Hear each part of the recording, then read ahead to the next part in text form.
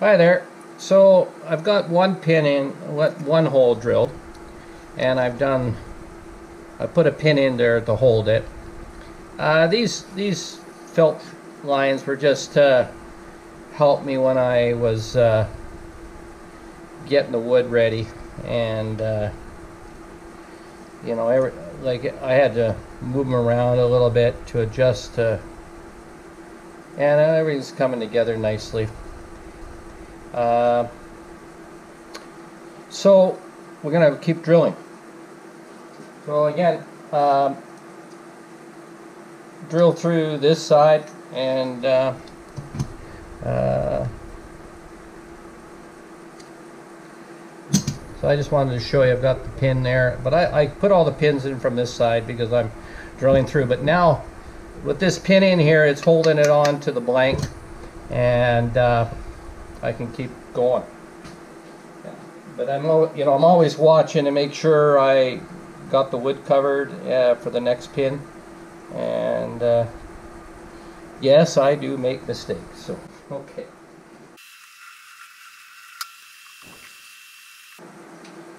So I've got two pins in it now. Uh, I I can move my clamps around. It's not so uh, not so important, but you know, you can see I've already got, uh, I've got two pins in here, right through, and these two are holding, uh, you know,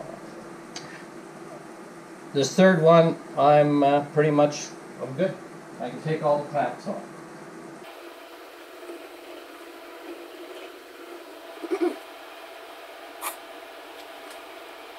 Oh, I've got three pins in there. I can take these other two out and uh,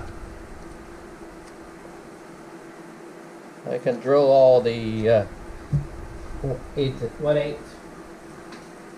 I'm actually using a, a decimal 30.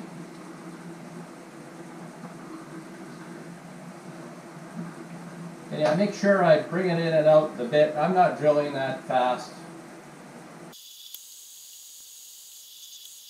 There you have it. Uh, I I like a lanyard, and uh, again, uh, um, I, I try and put them in all my knives. Um, but anyway, I got to change the bit for that one. Um, I've got my wood thinned down now, and uh, I'm getting ready to grind the finish this area of the the wood and uh, the wood I'm using is uh, European walnut. And uh, I got this piece from a friend of mine he's a gunsmith and um, uh, and as well he's a knife maker in his own right so. So what I'm doing here is uh, I've got the inside edges together. I've I've drawn on the um, on this side and and uh, that's my B side. So that's my B side. I've got locator pins in to hold the the two pieces together because I'm, I'm going to grind this area together. And that's how I get matching ends. So uh, I put my pins down they uh, I just mark it off uh, kind of run it there. And and it's kind of handy to have the felt pen marks when you go to to grind the edges after the epoxy's on. So I I'm putting a mark here where I want the edge to end and I'm putting a mark down here at the bottom where I want it to end.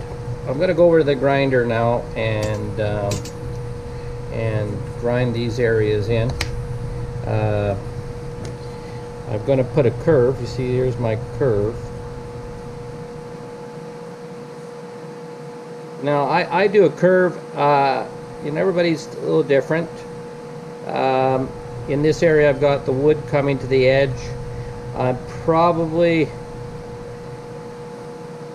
you know, I'll bring it down nice and tight but there's only so much I can do with a, what, I'm grinding with the epoxied on the handle. So uh, I could have put a uh, a bolster on it, but uh, then every time you do something to the knife, you, you it takes more time and uh, it makes it more expensive. This is going to be a beautiful, nice, it'll be very simple, nice wood handle.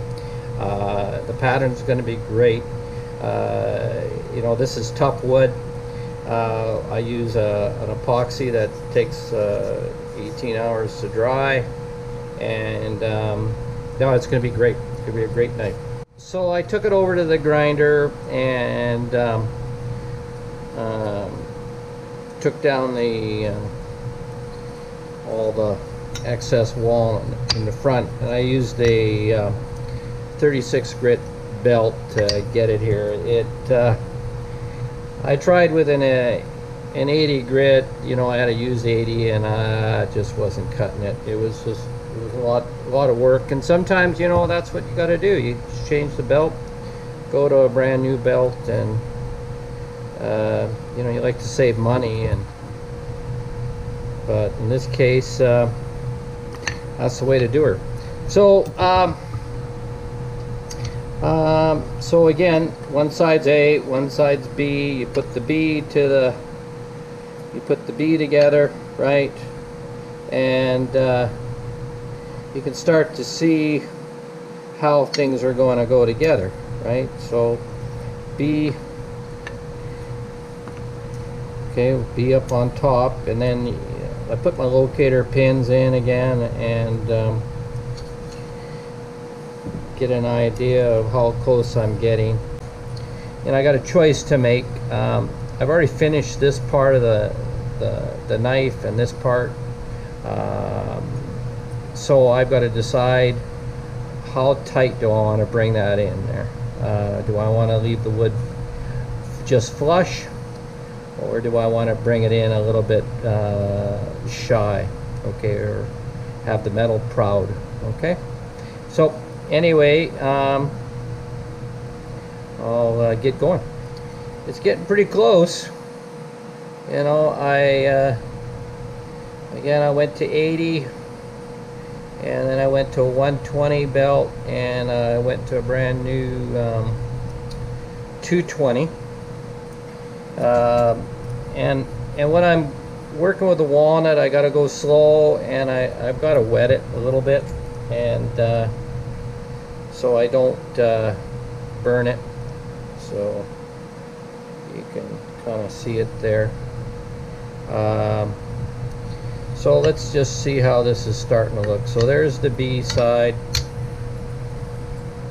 And I'll put my locator pins in. And, and when I'm doing this um, in case I haven't mentioned it I, I put locator pins through my uh, my pinholes and uh, that way I line up my uh, the uh, bolster area of the knife right? So uh, so here we go. We'll put a pin there and they don't have to go that deep. Just pull them in and, and they're tight. And uh, so you can see how things are progressing right? Uh, the the uh, I'm right there. Now I can take that right down.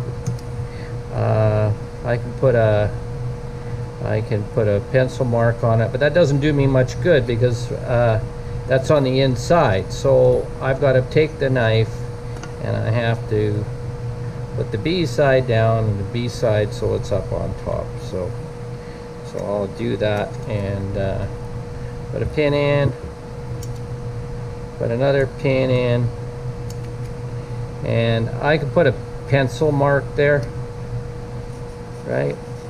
And uh, we're pretty good there but we can I can come I can still come in here and that way when you're at the wood you'll feel the wood and then you can feel the grip so. So that's about it for now. I'll go back and uh, I'll probably put the 120 belt back on her. I might do it with the 220. And uh, I'll finish up with a 400 after I measure it again. Thanks for watching.